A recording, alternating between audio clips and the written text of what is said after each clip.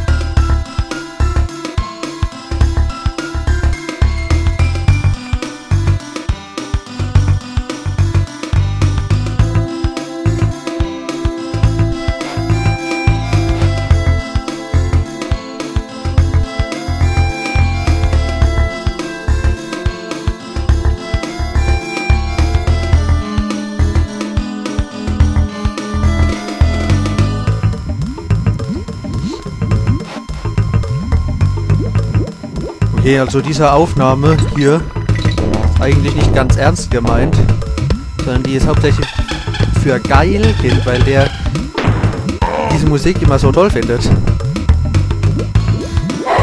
Und um zu testen, wie laut meine Stimme im Vergleich zu der Musik ist.